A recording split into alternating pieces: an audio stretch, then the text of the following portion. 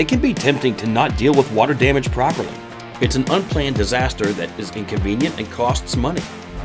Some people underdo it by just sucking up the water from the top level of the carpet, not worrying about the underlayers and the walls and trim.